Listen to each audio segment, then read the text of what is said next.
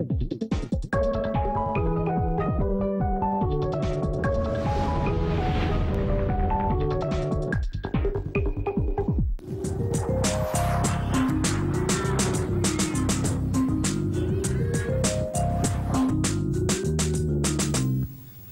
and welcome to the TDM Talk Show. Long considered a taboo subject, sex is now openly discussed and portrayed in the mainstream media. Men and women themselves are becoming increasingly aware of their sexuality and their sexual health. In a survey of men and women aged 18 to 59 years, about 43% of women and 31% of men reported some sort of sexual problem. Today, we've invited Dr. Kin So from the Genito-Urinary Infection Center Clinic to talk about sexual health problems, the spread of sexually transmitted diseases, and its treatment. Thank you for joining us, Dr. So. So tell me, how serious is sexually transmitted diseases in Macau?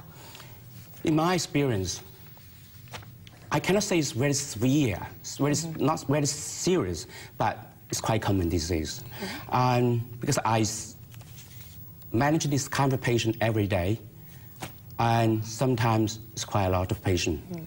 Yeah, most of them actually they have been treated, but the treatment is not completed, or the treatment is failure, and they're getting more and more. I mean, their disease getting more and more complicated, and finally come to see me. Yeah, that's, Okay. that's what I see every day. So the symptoms of STDs are normally really mild, or you don't get any symptoms at all in some cases. So a person might not even know that they have it, right? Yeah, exactly.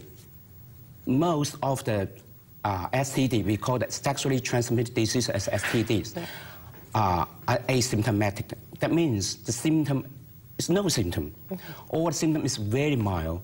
So patients don't pay attention to it. They, even so many patients got it, they don't know. And they keep, I mean, they let the problem getting worse and worse. So how do they find out then? They have to go and see a doctor?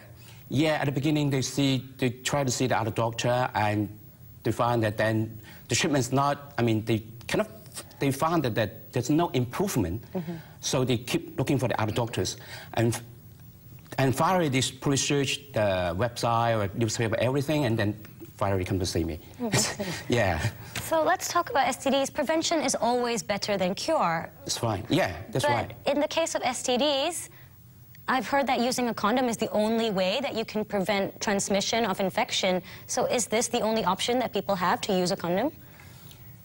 That's the unique option, not a unique option. And later I will tell you other measure to stop the STD transmission.